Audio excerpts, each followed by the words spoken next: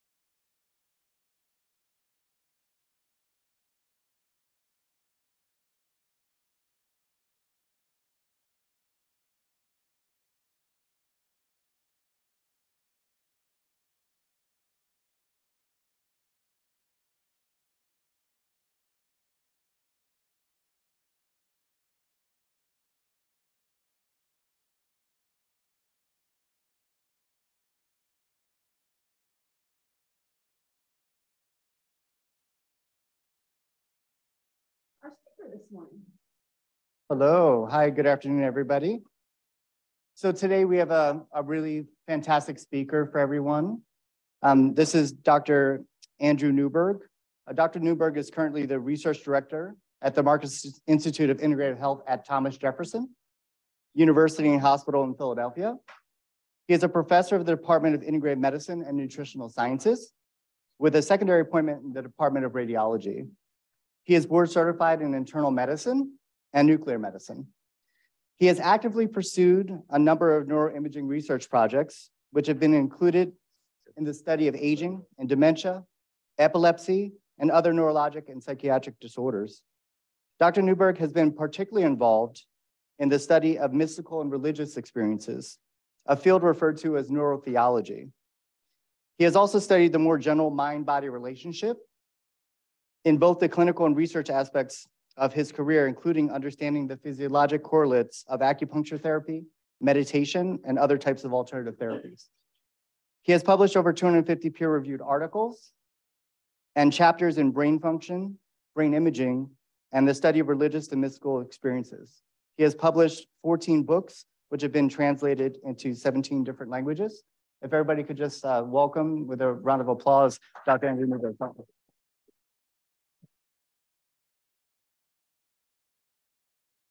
Oh, thank you. Everybody hear me okay? Good, okay. I don't, with, with a welcome like that, I think I should do like a stand-up routine or something. Um, wait, hold it. Oh, you have one. I got one. I'm good. All right, well, um, so I'm very excited to be here and uh, very excited to be able to share with you some of the research I've been involved with over the last um, really 20 or 30 years of my life and career. Um, I've been very interested in the field of integrative medicine, so it's exciting to see FAU have their own integrative medicine center and uh, looking forward to doing a lot of collaborative work uh, with all of you uh, as we go down the future. But uh, I'm really here to just share kind of some of the more recent work that I've been involved in. A lot of what I do, as you heard in my introduction, uh, I, I have a background in nuclear medicine. So we do a lot of imaging studies, and that's very helpful for understanding the mechanisms of the body, mechanisms of disease, and mechanisms of various therapeutic interventions. So if you're talking about a mind-body practice, If you're talking about diet and nutrition, talking about taking some kind of supplement, what's going on in the body? How is it affecting a person? How is it changing what's going on physiologically? And ultimately, how is that related to some kind of clinical improvement that they may have? So I'm going to uh, introduce this whole area and this whole topic and, and really just kind of cover a broad overview of things. But uh, certainly, uh, as we go through, if you uh, have anything, uh, any questions or anything, then let me know. Is this, which one's moving this forward here? There we go. Okay. So I think, you know, from the perspective of what integrative medicine can be, one of the most important failings, if you will, and one of the most important future uh, approaches that we need to look at is how do we understand the mechanism of these different interventions that we might do? So for integrative approaches to become part of the kind of standard medical care that we give to our patients, we need to do a lot of research and we need to do clinical research. But again, I, I think it's very important to look at the mechanisms behind whatever clinical effects we may see. So we need to look at meditation practices. And if we're looking at that in the context of stress or anxiety, what's going on in the brain? If we're getting, if, if we're doing some kind of diet and nutrition uh, intervention, how is that affecting the gut? How is it affecting the brain? How is it, you know, what are, what are we looking at? And so a lot of the, you know, of course, on one level, the only thing we really care about is how do you feel, right? Are, are you feeling better or not? Are you feeling less anxious? Are you feeling less distressed? Are you feeling less pain? Uh, but we also, again, need to have some kind of physiological measure, and sometimes those physiological measures could be neuroimaging, and we'll be talking about that. Uh, immunological measures, what's going on in the immune system and different markers, biomarkers, and physiological measures as well. And again, that can be healthy, normal physiological measures like your heart rate, but it could also be abnormal measures that may have to do with abnormal heart rates or, or, uh, or various changes in your autonomic nervous system or something along those lines. So as I mentioned, um, I've been very involved in the field of, of imaging, particularly neuroimaging, and we have made use of a lot of the, the tools and technologies that we have. I understand you all, uh, through your clinical research unit, are going to be getting a, a very high-end uh, magnetic resonance imaging scanner, which is very exciting. Uh, I've done a lot of work with PET imaging, so positron emission tomography. Basically, that means that we're injecting some kind of radioactive tracer into the person, and we're looking at where it goes. And so we might inject a tracer like uh, fluorodeoxyglucose that looks at glucose metabolism. We might give a neurotransmitter analog and see where that goes.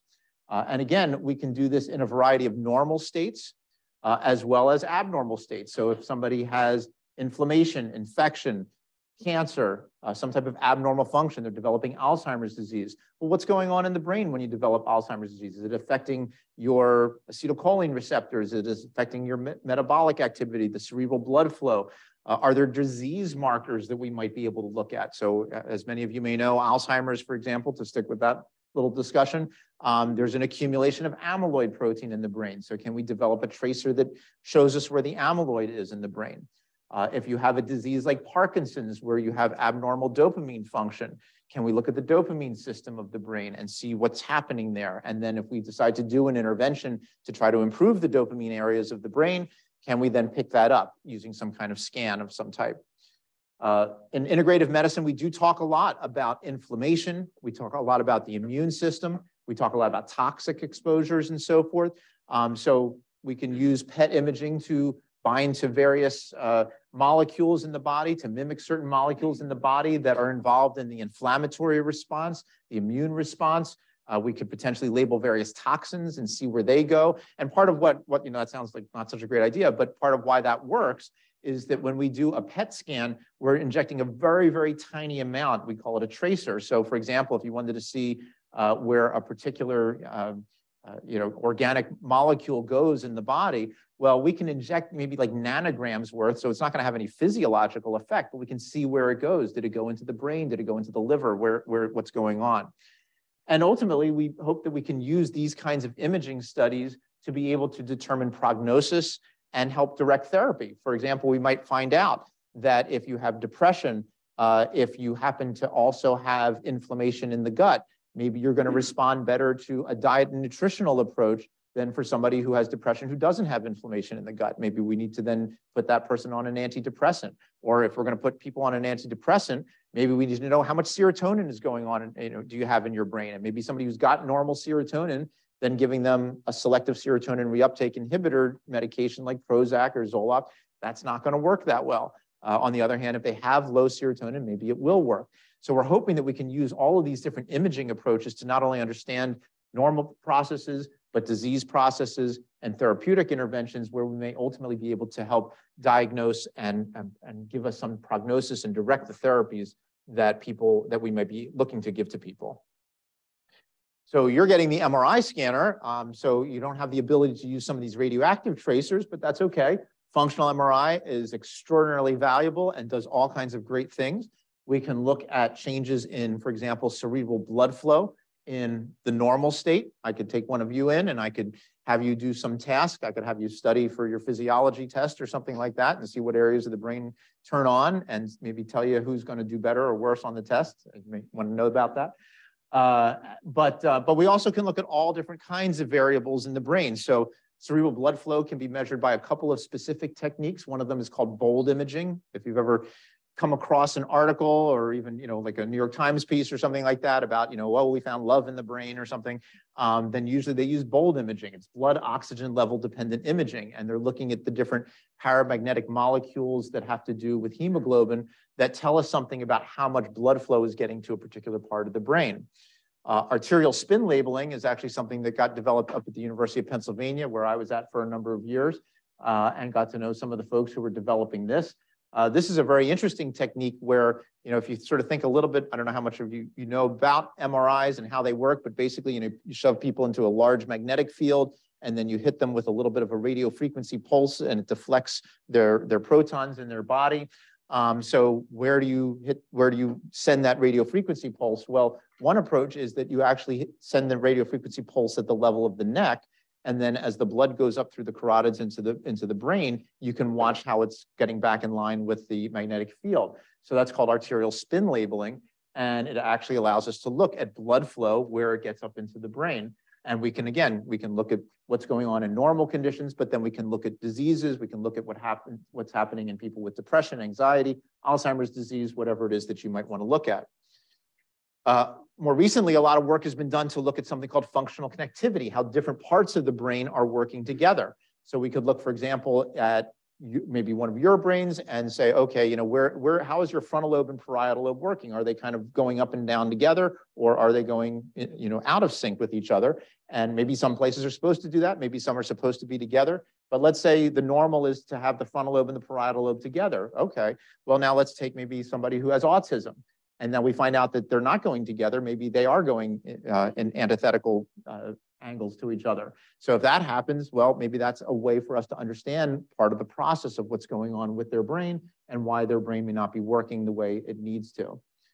A few other approaches with MRI. One is called diffusion tensor imaging, which allows us to look at diffusion in the brain and helps us to look at the white matter tracks in the brain. So I think I have a picture of that in a minute but um, that gives us an opportunity to look at where the different fibers are running in the brain. And again, we can look at a disease, for example, uh, you know, a big area of research these days is looking at concussion.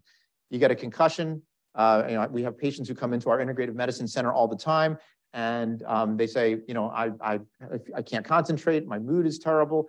And you say, well, you know, let's do a brain scan. You get an MRI scan and the scan is normal.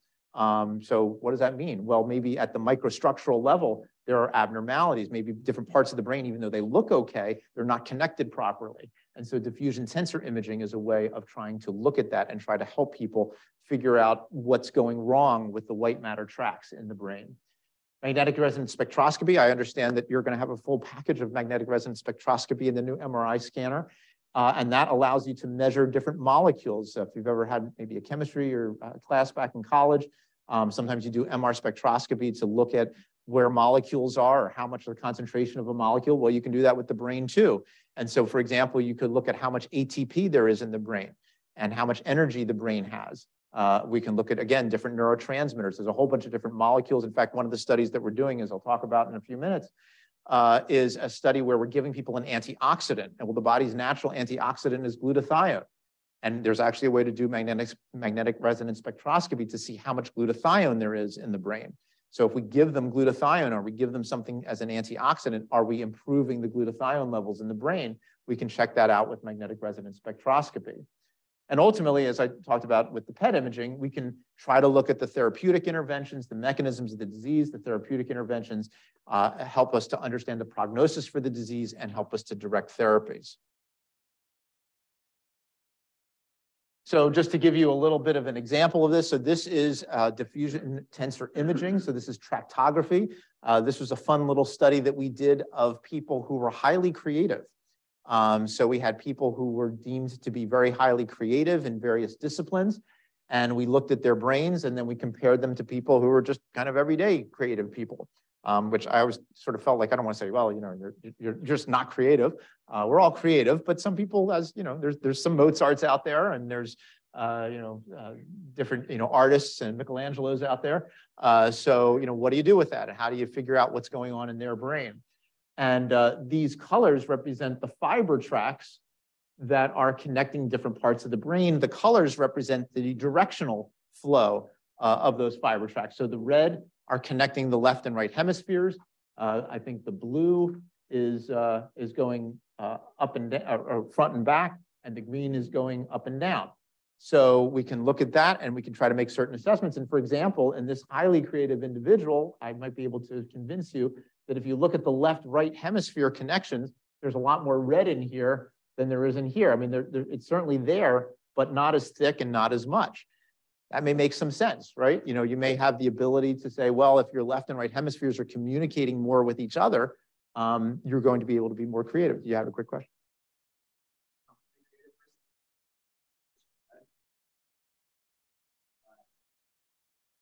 So yeah, so you know, again, we can start to look at all of this. I mean, how are the different parts connected, and and we can start to quantify these types of things. So it's a good point. Now we always have to be.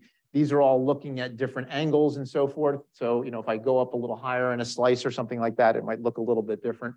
But yeah, exactly. You know, these are the kinds of things that we can start to look at. So in terms of some of the studies that we have done in the, in the world of integrative medicine and using our imaging techniques, but also looking at uh, different approaches uh, that integrative medicine has to offer, uh, I'm just going to go through some of the more recent studies that we've been involved in so you can get a feel for just the overall array of what might be possible. So we've done a, a Parkinson's disease study. Um, what we have been looking at, I was alluding to this a few minutes ago, that we can give people a very strong molecule that ultimately kind of functions as an antioxidant called N-acetylcysteine or NAC. Um, sometimes your patients might call it NAC, which I don't, that just doesn't sound right to me, but uh, I go with NAC. Uh, so NAC basically rejuvenates, if you will, the glutathione in your brain or, or in your body. Uh, one of the big questions, of course, is if we give glutathione, uh, if we give NAC, uh, does it get into the brain? And that's been one of the interesting discussions that we've been having about, you know, there it comes in an oral capsule. Um, does, so, but that's got to get through your gut and liver and all that. Uh, we can give it intravenously. Uh, we've been working with a company who actually gives it intranasally. The idea that maybe if you give it through the nose, it'll get right up into the brain. So we're, we're doing studies to look at how much you need to give, what are the best routes, and does this actually change what's going on in the brain? But in our first study, where we gave it as a combination of intravenous and oral. We tried to do that to give a pretty good amount of, of NAC into the, into the body.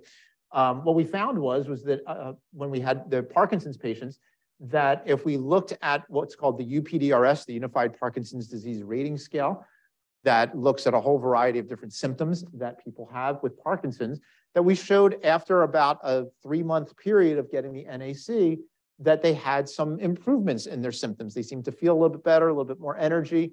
Uh, I'm not saying that people were dancing down the street after they received the NAC, but they did seem to be a little bit better, which for a neurodegenerative disease, which is a progressive process, having any kind of improvement was kind of intriguing to us. And we decided to look not just at how they were feeling, but we were doing some kind of brain imaging study. So we looked at the dopamine areas of the brain and similarly, we, we found improvements of about a 5 10% in terms of how much dopamine they seem to have in the brain. We're now doing a more advanced study where we're using our PET MRI scanner And we are going to be looking at not only the dopamine areas in the brain, but as I mentioned a few minutes ago, we're doing magnetic resonance spectroscopy so we can see how much their glutathione levels are changing. So is it, is it possible that the NAC just has some direct effect? Or is it doing what we think it's doing, which is increasing the amount of the antioxidant glutathione, which then helps to protect the brain better? So we're trying to take this all the way through the whole process. We give them the N-acetylcysteine. We see what the, the, um, the glutathione levels are in the brain. We see what the dopamine levels are in the brain, and we see their clinical response. And if we can kind of match all of that up, then that means that we understand how this is working. What happens if they all get better, but their glutathione levels don't change? Well, so it's having a different kind of mechanistic effect than what we thought. And now we have to try to understand that. So there are different kinds of things that we can start to look at depending on how this particular tracer, uh, th this particular intervention seems to be working. Now, this was our poster child, so to speak, although I guess our poster adult in this case. Um, so this is one of the patients who really had a pretty substantial improvement with the N-acetylcysteine. And uh, here is the dopamine scan before. This was his Parkinson's disease scan the basal ganglia, which is the primary place where dopamine is in the brain and has a lot to do with motor function. And, uh, and that's why you get a lot of these motor symptoms, the, uh, the, uh, the uh, tremor and the um, rigidity and so forth, and the hypokinesia. But after he received N-acetylcysteine for about three months, um, there's a lot more dopamine in his brain. So that's pretty cool. Now, we didn't see this in all patients, and that is another issue that we have to ultimately talk about, as I mentioned in some of my earlier slides, maybe we can do these scans to see where they are. Maybe certain people who have a certain amount of dopamine will be able to respond more effectively. Maybe if it's too low or too high, it's not going to have as much of an effect. So these are important questions for us to learn about as to why the N-acetylcysteine may work or why it may not work. But here was certainly a very interesting example of a patient who seemed to have a pretty significant response to the N-acetylcysteine. And of course, all of this is not just what we visualize, but we quantify all of this. So if you look at the amount of change that was going on in the dopamine areas of the brain, you can see that uh, in the, the group N, which is the N-acetylcysteine group, that there were positive increases in the uh, amount of dopamine in the brain, whereas in the control group, they just had that sort of overall progressive decline that seemed to be associated with the disease itself. And these were significant changes that we were able to explore. And there was a correlation uh, between the amount of increase in the dopamine areas that we saw and the reduction in symptoms. So that also was something that was uh, very interesting for us to look at. So as the dopamine went up in the caudate and putamen, then we see the, the negative correlation, which in this case is a good thing. As the dopamine is going up, the clinical scores are going, the clinical symptoms are going down. And, uh, and that was something that was also significant and had a lot to do with what was going on in the dopamine areas of the brain, particularly the caudate and putamen. So as I mentioned, we said, okay, this is kind of cool. We see some interesting results. We're encouraged by this, but we got a long way to go before we can truly know whether, you know, this is, we're not going to tell all of our neurology colleagues, hey, give all of your patients N-acetylcysteine, it works great. Um, so we need more data. And that's exactly what we're doing. We are trying to do a different kind of scan than the one I was just showing you, something called a fluorodopa scan, which is a PET tracer, fluorodopa, which has actually been around since the 1980s, but is not actually commercially available, but uh, we are able to produce it and use it. And we are also doing this in conjunction. We have a PET MRI scanner, so we are able to do both PET and MRI scans at the same time so we're doing the PET, the PET scans with the fluorodopa. We're doing the MRI to look at the different changes in the glutathione levels. But we're also looking at other factors, including things like blood flow, as well as how different parts of the brain are connected with each other. And then we're going to do the clinical evaluation. So we're right in the middle of that right now. We're about 10 or 15 subjects in, and uh, we're ultimately shooting for about uh, 40 altogether. And we're hoping that if we get that data and that's confirmatory of our first study and also kind of shows that a whole line of what's going on, that this is really now going to start to make us feel more comfortable about what's going on and lead to hopefully bigger randomized controlled trials uh, that might be worthy of NIH funding and really try to find a way to convince people ultimately, yeah, hey, this really does work. We got to start putting patients on this, but we're not quite there yet. Oh, and actually, this is our first fluorodopa PET scan that we did at, uh, at Jefferson. So you can see in contrast to that other scan that we did, which is a slightly different kind of scan, that we get very good detail in the basal ganglia, and we're able to look at uh, what's going on in terms of the disease status. In fact, in patients with Parkinson's, um, and this is now more mechanistically oriented, the disease actually moves posterior to anterior. So the heads of the caudate are here. These are the putamen, and you can see that the posterior parts of the putamen are not, they, they should all be as bright, and they're not. So this is where the disease is starting. And you can see, and this is very common in Parkinson's, that one side looks worse than the other. And when one side looks worse than the other, the disease symptoms are usually manifested more on the contralateral side because the neuron, the neural fibers cross. And so uh, in this particular person, this is actually the left side of the scan. So this person has more symptoms on the right side of their body. And, but the other side is still being affected. So we can see kind of the whole disease process as it unfolds. Now we said, wow, this is pretty cool. We, we're getting some interesting results with Parkinson's. Um, you know, part of the whole point of N-acetylcysteine is that we're looking at oxidative damage. Well, it turns out that oxidative damage is kind of the end process of many disease, uh, many diseases. So multiple sclerosis, Parkinson's disease, maybe even concussions. So we said, well, maybe we should start looking at whether N-acetylcysteine can be useful in the context of other disorders. And so we were fortunate to get some funding to do a study of multiple sclerosis. Not sure exactly how familiar you are with all of these different diseases, but multiple sclerosis is a immunologically mediated disease where your immune system starts attacking your white matter. But ultimately, the damage that gets caused is through oxidative stress. It releases these oxidative metabolites, and then you destroy the white matter tracks, which then leads to the neurological deficits that the person has. So we said, well, let, so now this isn't dopamine, so we don't have to do the dopamine areas of the brain. We can look at more global changes in the brain itself. So we decided to do a PET study looking at cerebral glucose metabolism. And that's important also because, again, I don't know how familiar you are with MS, but you get these lesions in the brain. And sometimes, you know, you can look at somebody's brain and you're seeing like this large lesion in the right side of the brain and they are completely asymptomatic from it.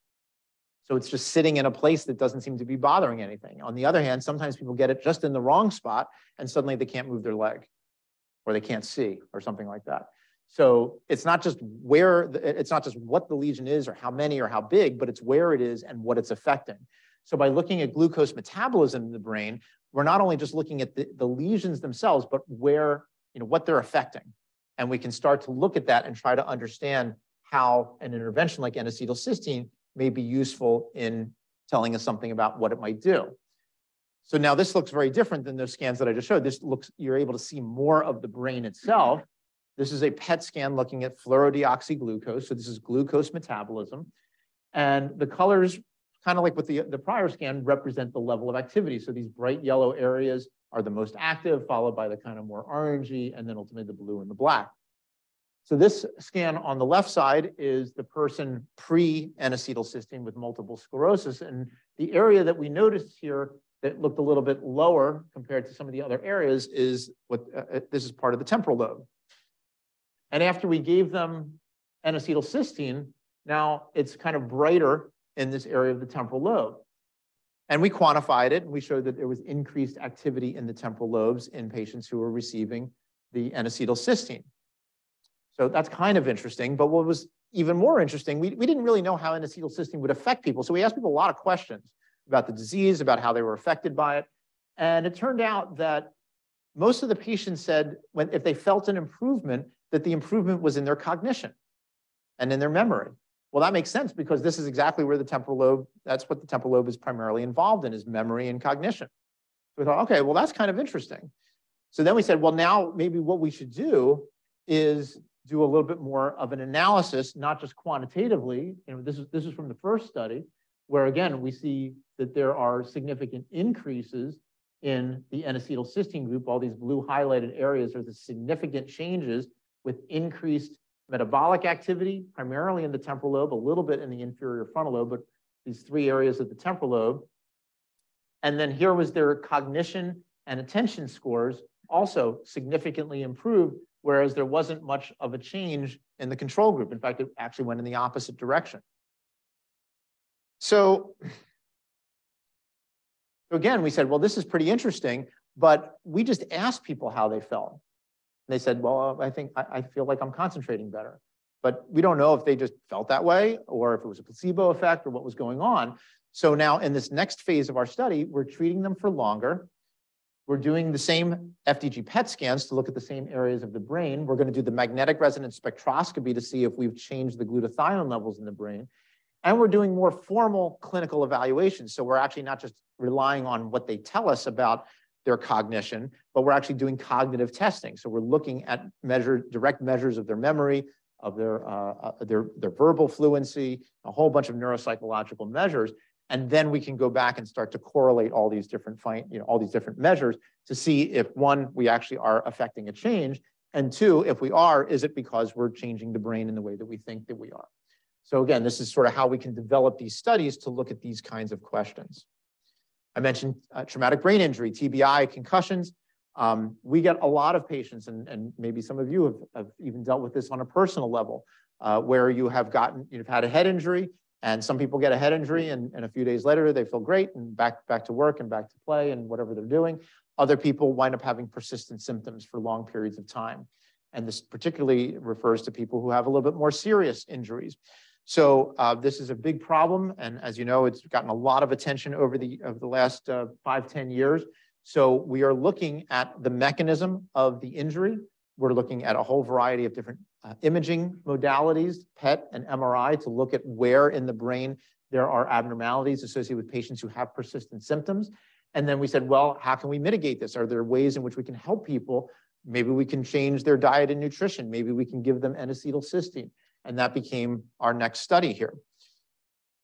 So in our current study, what we do is we take people who have chronic symptoms from a TBI, they have to have symptoms for at least three months, and we put them into one of three arms. One of them is a diet and nutrition arm. So we spend a lot of detail going through their diet and nutrition. What are you eating? How do you eat it? What, you know, what, we try to find foods that they're eating that are pro-inflammatory foods. We try to make sure that they're getting enough nutrients. We try to get them to a more plant-based, more protein-based diet, a very healthful kind of diet. And then we tell them, you go follow that for the next three months, and we're going to see how you do. The second group gets the N-acetylcysteine in that intravenous and oral formulation. So we give them that for three months, and we see how they do. And then we have a control group, what we call our waitlist group. So um, Actually, let me go past this. Uh, so this is a diffusion tensor imaging scan of people with Parkinson's, excuse me, of people with um, traumatic brain injury. And what we find is all of these red areas, these are the areas that are abnormal in people who have concussion and, and post-concussive symptoms compared to controls. So they don't have normal brains, but the problem is that you don't find this unless you do the diffusion tensor imaging scan. You only find it uh, you only find it if you do that kind of a scan. If you just do a structural scan, their brain doesn't really look that much different. But they have all kinds of abnormalities, particularly in these kind of posterior areas of the brain, connecting the temporal lobe and the parietal lobe. And again, these are the cognitive and emotional areas of the brain that are very relevant. Even parts of the frontal lobe are affected. So we looked at this even before we started to put them through some of the different integrative medicine uh, therapeutic interventions.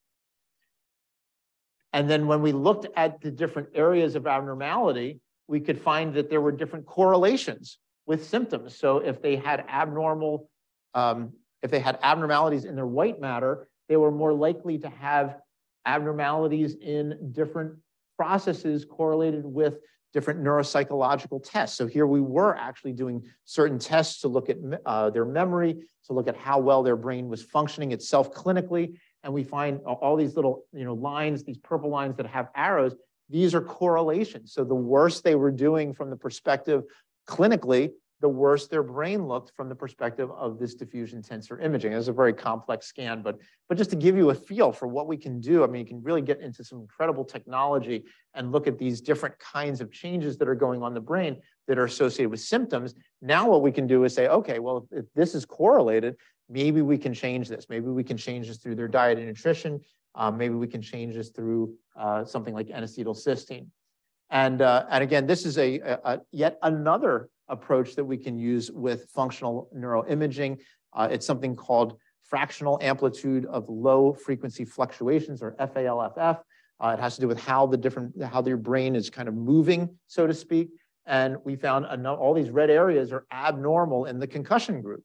So we see a whole bunch of different physiological processes that are not working properly in patients who have persistent symptoms.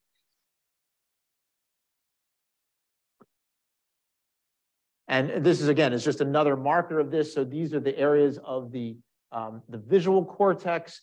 Um, these are parts of the areas of the posterior cingulate, which is very involved in memory processes and overall cognition.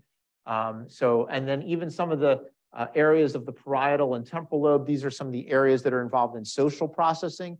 And that's also one of the things that people come in with a lot, which is saying that, you know, they, they're, they're, they're having trouble with relationships and their personal interactions with people. Um, they can't read people's faces as well and things like that. So there's a lot of different things that are going on. If your, if your visual system is compromised, if your social areas are compromised, if your cognitive areas are compromised, you're going to have a lot of different symptoms. And this is exactly what we see in these kinds of individuals. Now, we're really right in the moment of analyzing the data, but I can tell you that we had some great responses in both of the treatment groups. There were people in the diet and nutrition group who did exceptionally well and it really kind of changed their, their brain around and they felt very, very good. We had people in the N-acetylcysteine group that seemed to do very, very well.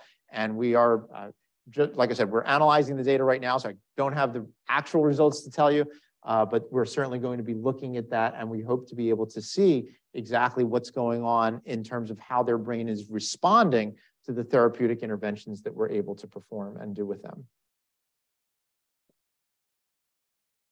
So uh, we also had a study of sleep and uh, insomnia. I'm sure all of you are sleeping very well and soundly these days. Uh, and it's only going to get worse. Um, but, uh, but we took some, uh, a whole bunch of people who had insomnia and we found this very uh, interesting approach that uses auditory and vibratory stimulation.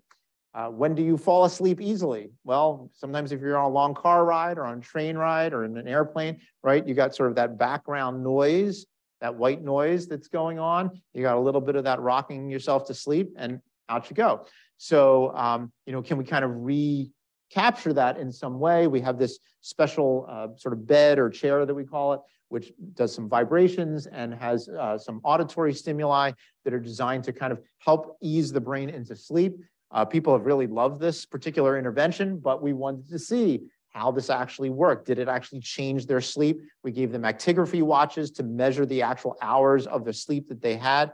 And we did a bunch of functional MRI studies to be able to see how they did. And we had the active group that received this auditory and vibratory stimulation. We just did it for one month just to see how it worked. And we had a control group to be able to evaluate as well. Uh, so, so some you know, very basic findings were that um, when we asked people just how they felt they were doing, their sleep index improved. That, that minus three is, is good. A higher score means that you're not sleeping as well. And the, the active group slept for more than 30 uh, extra minutes. I feel that uh, isn't there like a sleep number bed now where they say people get extra 28 minutes of sleep or something.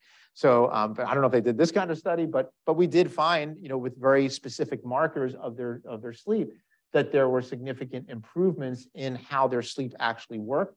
And then we were able to look at a variety of uh, brain scan studies to look at changes that were going on in this case, we were looking at functional connectivity, how different parts of the brain are kind of moving to, with, with each other. And these different brain structures, areas of the cerebellum, like the vermis, uh, the sensory motor area, the thalamus, the caudate, some of these are part of this, the sleep mechanisms in the brain. And part of these are also about cognitive and, uh, and memory processes. So people felt that they were sleeping better, but they also felt that they were kind of thinking more clearly and thinking better. And we saw very significant changes in the uh, functional connectivity between these different areas. Now, interestingly, um, some of them were increased. So sometimes increasing your functional connectivity is good. Uh, some of these were decreased because sometimes you might have, you know, for example, if you're over anxious about things and you're kind of focusing on stuff, uh, your frontal lobe and maybe your, your limbic areas are too connected with each other and you need to kind of break that connection so that the person can kind of relax and, and feel a little bit less, uh, less anxious about things. So this is what we're able to demonstrate. We're able to see what's going on when you have insomnia, and then how is it changed by doing an intervention like this. So we have the ability to look at you know, the changes that are happening physiologically as well as clinically. Now, as we move a little bit more into the mind-body area, uh, one of the interesting techniques that my boss, this Dr. Daniel Monti, has been working on over the years is something called the neuro-emotional technique, which is a, a very interesting technique. As you know, I'm, I always call myself I'm the brain imaging guy, so I don't really know the clinical piece that much.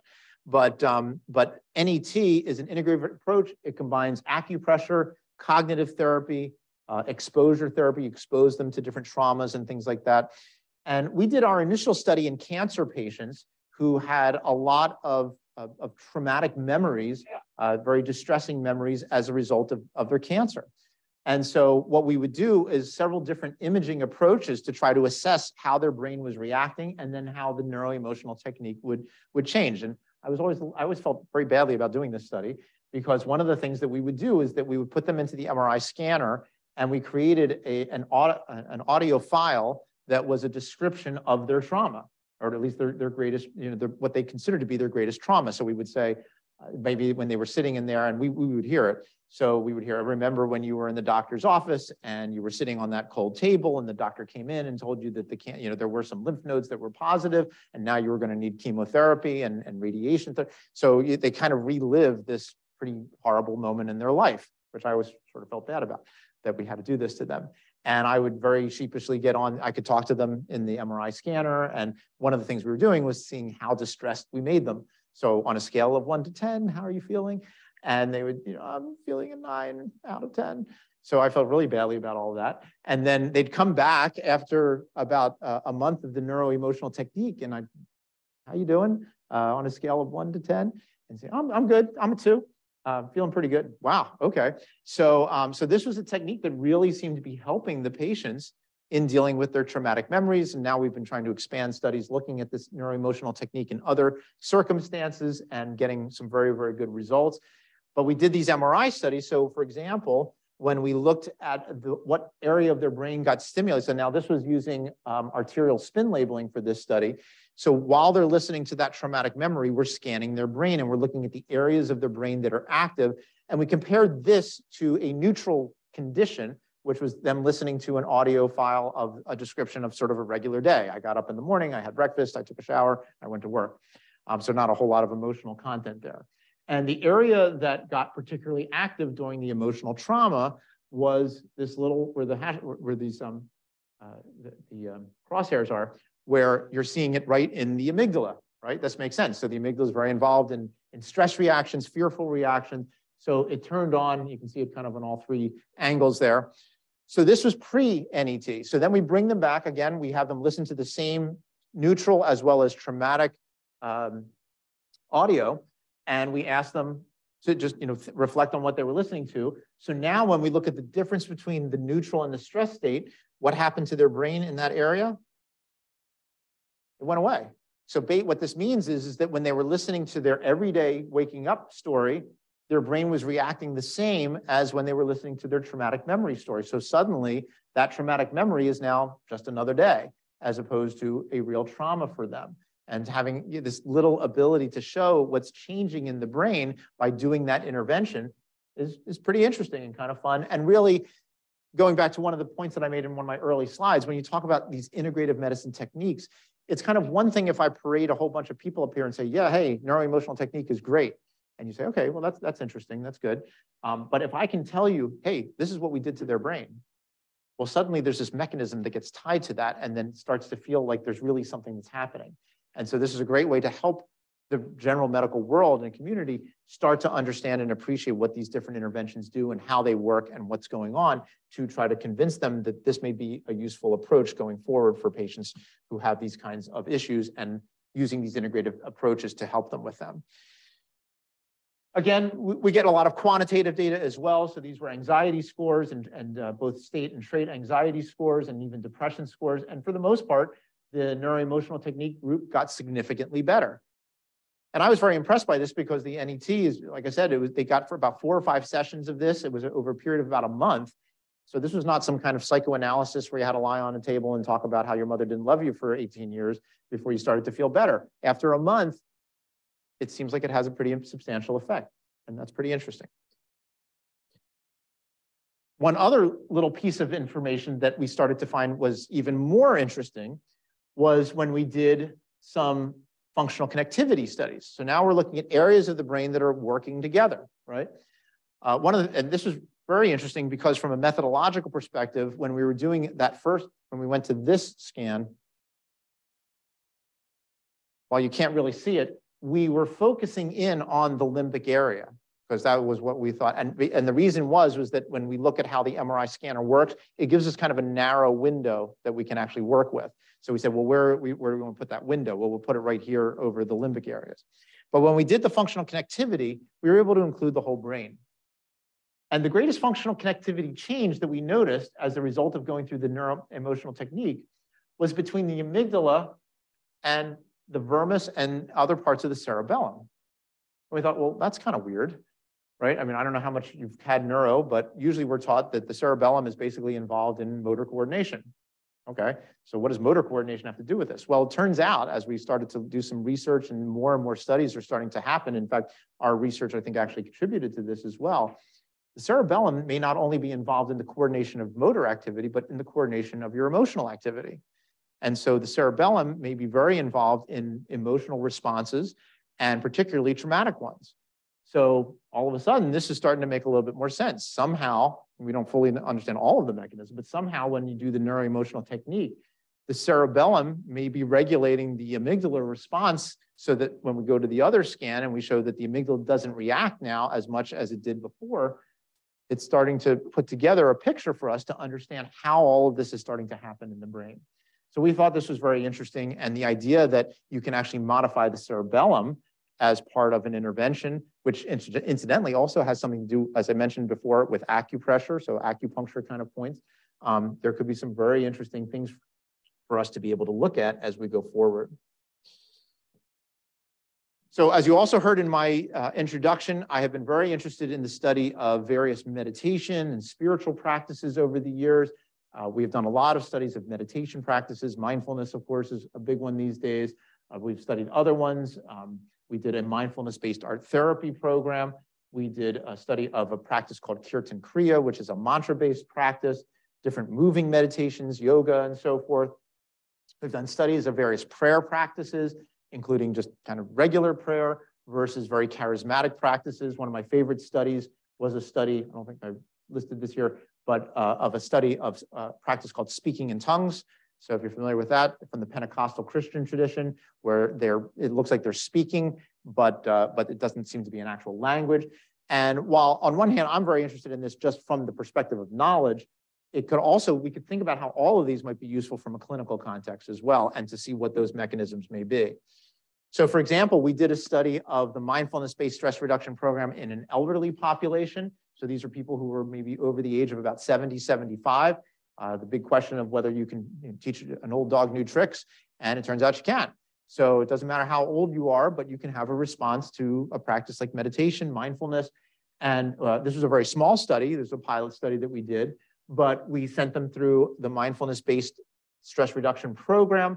They uh, attended the classes and um, they, they did the practice pretty well. There was a um, very significant change in a variety of different areas of the brain. So some of these areas, the uh, anterior cingulate cortex, the limbic system. So these are different areas, the temporal poles. These are areas of the brain that change. Now, this is one kind of funny story about this, uh, which bears just in terms of how studies get done. So we actually did this study. It was uh, in 2020, um, and it was, uh, we did the first scan of people and uh, this was, so this was all from like a, um, uh, I don't want to say a nursing home group, but uh, a, a, like a retirement community. So they were, like I said, they were all fairly old. And um, we did the first set of scans in September of 2020. And then they went through the eight week program and we brought them back in December. And this was probably one of the few meditation studies where everybody came back with far higher levels of anxiety and stress. what's going on here? It was sandwiched around the election.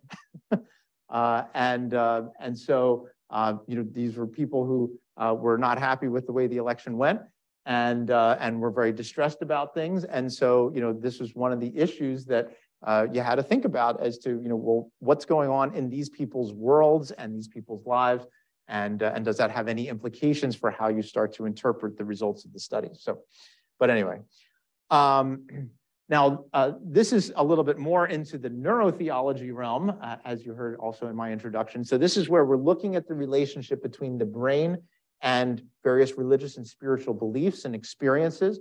So we ran an online survey uh, where we asked people about their most intense spiritual experiences, and we asked, we gave them a basically a blank page to write out whatever they wanted to, to write. But we also asked them questions about the experiences themselves, about how it affected them.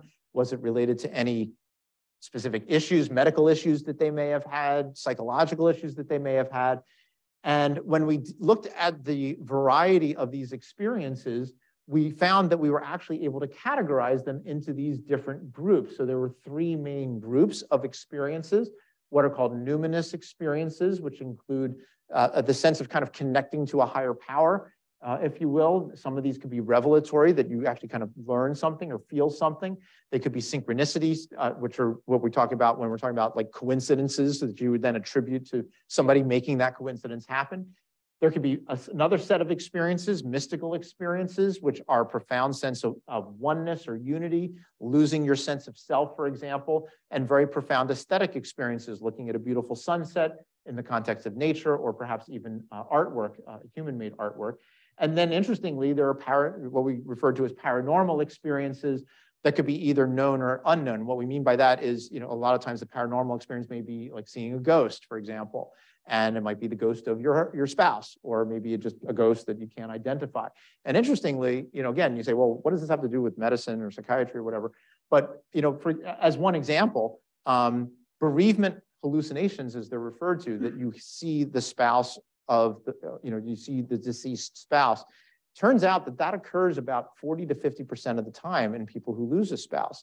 And interestingly, what some of the data has also suggested is that when people have that kind of uh, experience that it actually has a positive effect on them because they feel closer to their spouse. They feel that you know they've transitioned into whatever's beyond, and uh, and they feel good about that. And what, what's interesting is that they uh, they they refer to it as as a normal hallucination, which is a bit of an oxymoron if you think about it from that perspective. So, you know, you get into some really fascinating questions. Well, you know, what really happened? And I mean, obviously, we can't prove a whole lot here, but we can learn about what's going on with the people, what their descriptions are. And we've done brain scans of people who are engaged in practices like meditation and prayer, where they will have a sense of oneness, a sense of losing their self. Um, and we can talk about what that experience is uh, when we actually have looked at the response to these experiences. Um, well, this, this is actually just a, uh, an idea about how common these different experiences are. So the numinous are, are certainly the most common. But um, uh, one of the things that we found is that these experiences really change people over time. And oftentimes people say that they their relationships get better, their, their fear of death gets better, um, their sense of well-being and purpose in life and so forth gets better. So if all of these things are happening, then Maybe there's something really going on in their brain. And we've done some longitudinal studies to look at different practices like meditation over time. I mentioned Kirtan Kriya. Um, this is a mantra-based practice where you repeat certain phrases over time. And this is a, a, set of scans from one of our participants. So the A scan is their initial resting state. This is just their what basically coming in uh, off the street and what their brain looks like. Then we teach them how to do the meditation practice and they do this, we do the practice while they're, they're excuse me, we do the scan while they're doing the practice. Then they come back eight weeks later after doing the practice on a daily basis and we scan their brain at rest. And then we have them do the meditation for the final time. So a couple of really interesting changes. One is, is that if you look where the arrow is, this is pointing to the thalamus, a very central structure. It involves a lot of sensory input and also because of its central location connects different parts of the brain to each other. And you can see that in the initial scan, it was a bit asymmetric. One side is a bit more uh, metabolically active than the other. But when they come back, it's much more equivalent. Maybe, I don't know if you can see this, but this side may be, even be a little bit more active and even more so when they're doing the meditation practice. The other change is in the frontal lobe. So their frontal lobe here is, is more red than what you see in their original baseline scan. And so because they're concentrating on this mantra, on, the, on these phrases, they actually are using their frontal lobes and it changes the way their frontal lobes actually operate. In fact, other studies have shown that long-term meditators have thicker frontal lobes than non-meditators. It's almost as if you're looking at meditation as a, as a exercise for your brain. So like when you lift a weight, your muscle becomes bigger and it becomes stronger. Well, your frontal lobes become bigger and this scan shows that they actually become stronger because they're more metabolically active. And that correlates with improvements in attention and memory. So there's a lot of different changes that occur. And we even have found changes going back to one of the early studies that we're talking about with Parkinson's. These were healthy controls who went through a very intensive spiritual retreat and it changed the dopamine areas of their brain. So you can see that there's much sort of less activity here after the retreat than what they were doing before. So what was going on? Well, this is actually something called the dopamine transporter, which takes up excess dopamine in the brain. If you block the dopamine transporter, you get a lot of dopamine in the brain. In fact, that's what happens when you give somebody cocaine. It blocks the dopamine transporter and they, they get that euphoria, they get that high. So if you're sort of blocking the transporter in a natural way, well, it makes the person more likely to get this euphoric high experience that could be considered a mystical experience and spiritual ecstasy, you know, what different terms people use. But we're starting to see a mechanism by which that may happen by looking at the changes that go on in the brain and how it sensitizes the brain. But people have also found that practices like meditation and prayer lower uh, anxiety, lower depression. Um, this is actually the serotonin transporter, which also changed. So again, you know, if this is kind of blocking the serotonin transporter, so to speak, that's what the SSRI drugs do. That's what Prozac and so forth do. Maybe you're kind of doing this more naturally, and maybe this is a better way to help to manage people with depression, depending on the circumstances. So we've covered a lot of ground. Um, hopefully you've learned a little bit about what research in integrative medicine can be. Uh, we certainly hope that integrative medicine can help us to, uh, uh, these kinds of research studies can help bring integrative medicine into the general medical world. We, we, as a lot of people will say, it really shouldn't be integrative medicine and regular medicine or whatever. I mean, it's, it's medicine. And we want to be evidence-based. We want to have the mechanistic data behind it. We want to have the clinical information behind it. And hopefully all of this can help people to understand how things like diet and nutrition, stress management, uh, a healthy spiritual life, if that's important to a person, uh, all these different things can be useful both for physical findings, uh, as for physical issues, as well as uh, psychological and mental issues. And, uh, and we hope that this will help to establish the efficacy and the mechanism, but there are always a lot of future applications. We're still engaged now in more studies going forward. I know you all are going to get a lot of great studies going on here. Um, so there's a lot of work for all of us to do. And I will leave it there and open it up for some questions. And if, and if you want to, uh, feel free. What's that? Oh, yeah, I have that QR code. Yeah.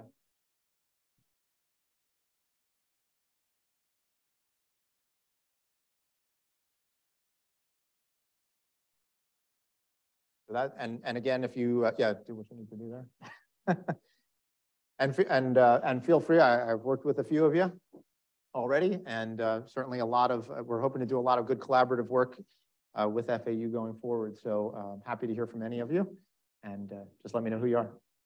So, got a question back there?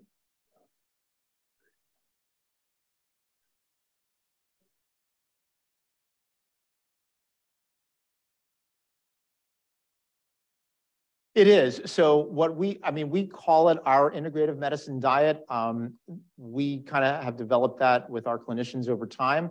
It is probably the best way to describe it is a bit of a modified Mediterranean diet. Um, so it, you know, it includes a, a, more, a higher protein, lower carb diet with uh, a lot of the good oils like olive oil. Um, we try to get them to a more plant-based diet, try to get away from certainly red meats, but um, you know, uh, lean meats like chicken and fish and so forth are okay, but in, you know, in, in appropriate amounts. Uh, but but a lot of emphasis on on vegetables and uh, and plant-based proteins and so forth. So we we have like a whole outline that we give them, but we do go over things specifically with them too. And we say, you know, what what are you eating? Okay, you have oatmeal for for breakfast. Well, you know, oatmeal's not bad, but but it's basically a lot of carbs. And so, you know, can you try a protein shake or can you try uh, to get more vegetables? You know, so we'll go into it in a lot of detail. But you know, again, so we have our diet, but you know, future studies could look at things like the ketogenic diet, um, paleo diet. There's a lot of studies that are looking at these different dietary programs as well. Yeah.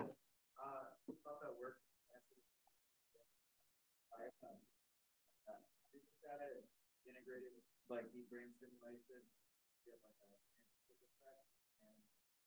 Question is, have you looked at it and I guess control to see if it improves general like Yeah, so two great questions. Um, the, and the answer is they were, they're good questions to, to pursue. We haven't done that yet. Uh, the, um, uh, you know, we certainly could, I think the way we thought about it in general is, and, and this is also an interesting, let me answer this in a, in a broader context of integrative medicine. So in integrative medicine, we often take a very kind of multifaceted, multi-pronged approach to the patient because we say, well, we need to treat your biological self, the psychological self, social self, and so forth.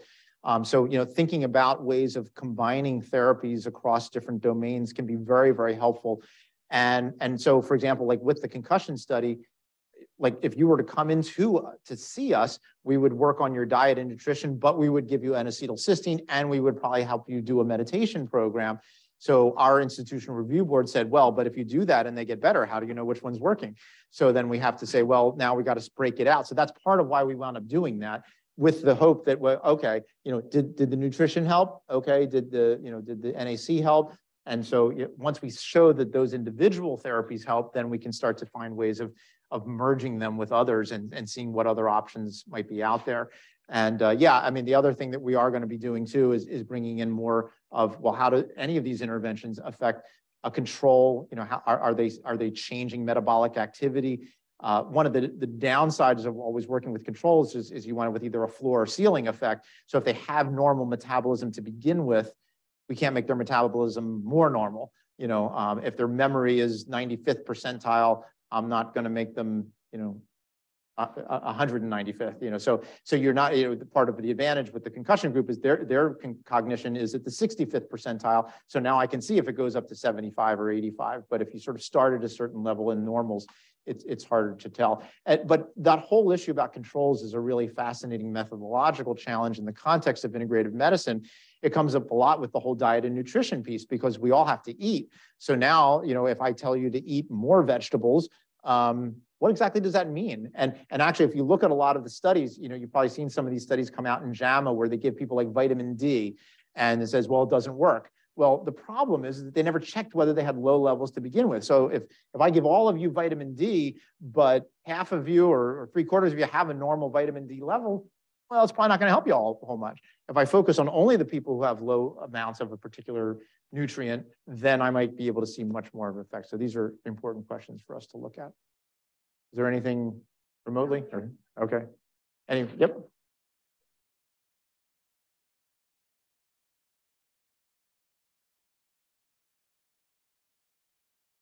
Well, I mean, we do know that N-acetylcysteine is able to basically take glutathione, which has been broken down by oxidative stress, and it, re, it basically rejuvenates it so it goes through a metabolic uh, uh, uh, uh chemical process where it enables it to now be, be able to be used again by the body. So we know that happens, but whether we're making that happen in the brain and whether that ultimately leads to the change in metabolism or the, the, the theory that we have with a lot of these is that, you know, like if you have uh, Parkinson's disease, well, if the neuron is dead, it's dead. I mean, I'm, I'm not going to get that back. But if you think about what's going on, let, us say you have Parkinson's, maybe you have 30% of your neurons are dead, 30% are fine, and 30% are dying. Well, maybe that's the 30% we can work with. And so if they are dying through this process, if we can help to reestablish a better oxidative uh, stress level in the brain, then maybe we can preserve them or prevent them from dying. And, and other data has shown that a lot of these disorders like MS and concussion and PD um, all have lower levels of glutathione in the brain. So then that's, you know, that's sort of where the whole sort of mechanistic thought process goes. But whether we can do it and whether, whether that uh, metabolic, uh, the, the oxidative stress problem in the brain is kind of you know, along for the ride or directly related, and whether we can get to the point where, you know, the, the where it's actually happening, you know, that those will be the big questions going forward.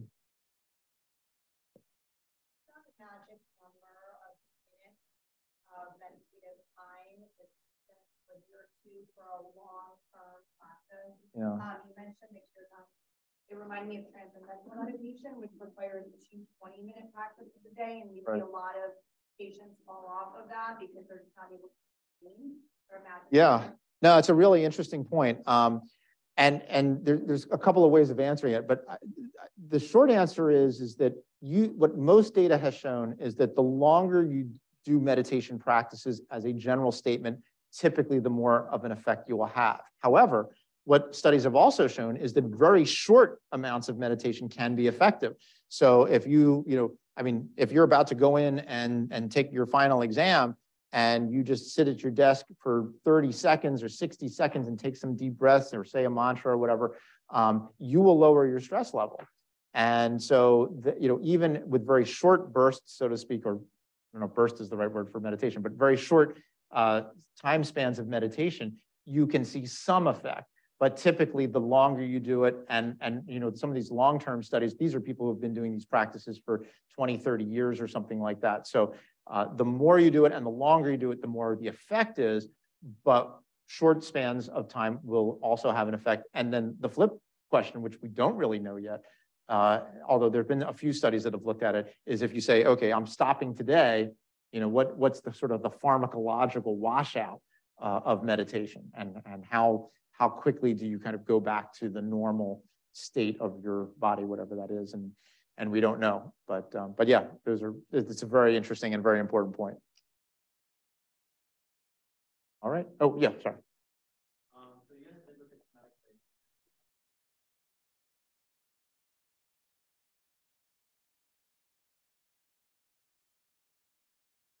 Yeah, well, so I mean, we again, we're trying to look for.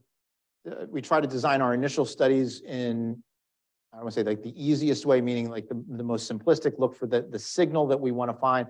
If we find that these interventions are useful in these patients with post-concussion syndrome, um, then we can start to look at uh, other aspects. It, and, and the same is true, you know, one of the other larger questions is when do you treat? So if we take a Parkinson's patient, for example, or, uh, or an MS patient, uh, is, it, is it okay to treat them when they've had the disease for five or six years, or is it already you know, these interventions are no longer going to be valuable.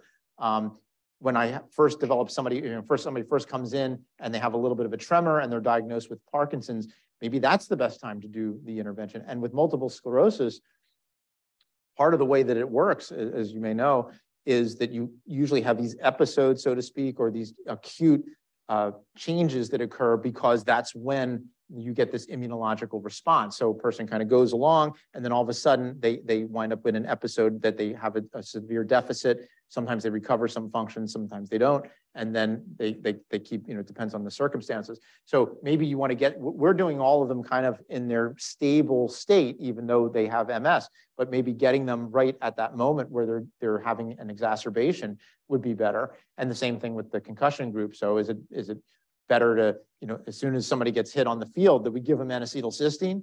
Or is it better to wait and see how they do? Is it okay to give somebody uh, uh, N-acetylcysteine after five years down the road after a concussion? And we don't know the, the full answers yet, but, but that's what we'll be looking at. Any others? All right. Great, thank you.